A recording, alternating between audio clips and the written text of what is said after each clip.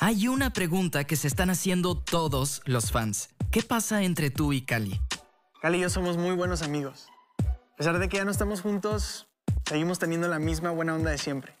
¿Entonces todo terminó entre ustedes definitivamente?